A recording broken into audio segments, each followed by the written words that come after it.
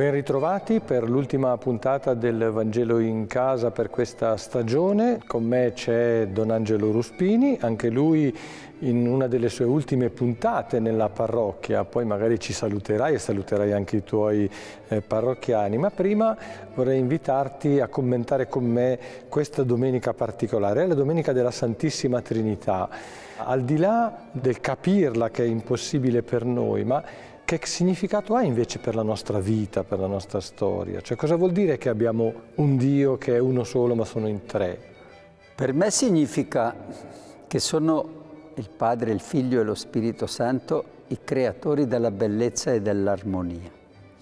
Non per niente la prima lettura di questa festa parla della sapienza che ha creato il mondo, che era presente con tutte queste bellissime realtà create poi la redenzione, la salvezza. Io credo che la Trinità è la bellezza che poi diventa arte, diventa pittura, diventa splendore del sole, diventa i colori dei fiori, diventa le razze dell'umanità, diventa la crescita della storia.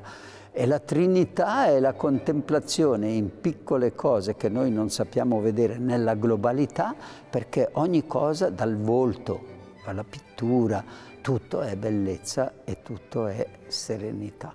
Bellezza come contemplazione della presenza della Trinità. Gesù però insiste molto anche sulla questione della relazione, cioè lui e il Padre hanno una relazione speciale e lo Spirito Santo è in qualche modo l'evidenza di questa relazione. Quindi come siamo noi in relazione? Sì, perché parla di una relazione perché nessuna creatura creata nel mondo che non sia in dialogo con l'uomo e non c'è nulla dentro nell'uomo che non possa essere dialogante con tutte le realtà che ci circondano.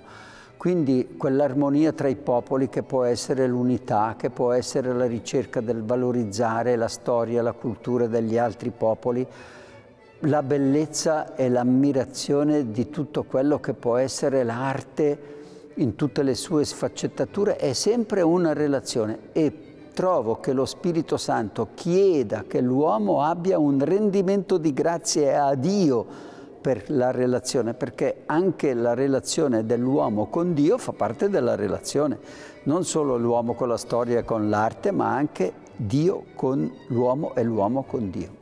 Quindi in qualche modo fare entrare Dio nella propria storia significa far entrare il ringraziamento, la gratitudine? Esatto, io trovo che la gratitudine viene fatta quando ti accorgi di una ricchezza, di una bellezza, vai a, chiamare l'artista perché ti dia la firma, vai a contemplare una mostra perché sai che quell'autore piace per i colori, per le forme, per quant'altro, così il rendimento di grazia è esserci accorto della bellezza che ci abita e metterla in relazione con Dio, quindi diventa anche canto.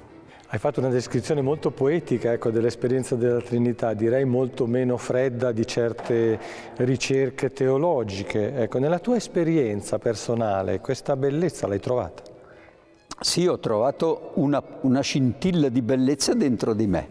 Ho costruito prima di tutto la mia persona cercando di essere equilibrato per essere un punto di riferimento per, per, la gente, ho cercato di mettermi in relazione con Dio nella liturgia, nel canto, nella lode, spingendo, sospingendo la mia comunità alla gioia anche nella liturgia. Sono entrato nella storia del mio territorio cercando di valorizzare tutte le cose belle, dall'unificazione del comune fino all'arte esposta davanti alla nostra Chiesa e trovo che questa fa davvero la completezza, nel limite del possibile, di una persona e quindi ho sperimentato questa bellezza.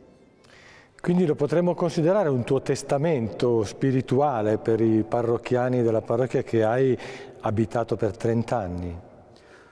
Penso di lasciare come testamento anche questo, però la mia passione per il Signore, la mia gioia di parlarne, la mia gioia di viverlo, vuol dire anche aver trasmesso, e questo potrà essere il testamento, che non c'è una completezza di gioia se non dentro nella relazione con Dio, che è il termine ultimo. In fondo le cose umane le lasciamo ci troveremo nella gloria. Con questa chiusura direi ideale di Don Angelo Ruspini termina qui la nostra stagione del Vangelo in casa. Ci ritroveremo in settembre con un nuovo percorso, con nuove persone che ci aiuteranno ad entrare nella parola di Dio. Buona estate. Buona estate anche da parte mia.